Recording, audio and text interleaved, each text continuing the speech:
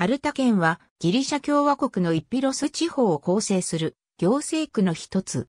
アンブラキコス湾の北に位置する。県とはアルタ。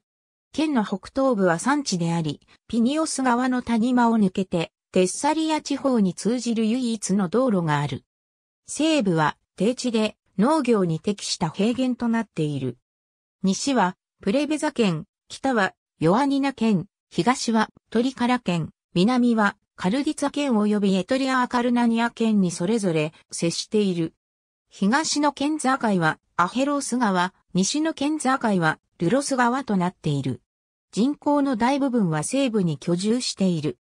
アルタ県は1880年代にテッサリア地方と共にギリシャの領土になったが、この時、イッピロス地方でギリシャ領となったのはアルタ県のみであった。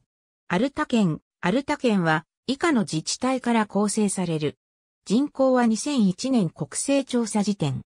アルタ県の旧自治体カリクラティス改革以前の広域自治体としてのアルタ県は以下の基礎自治体から構成されていた。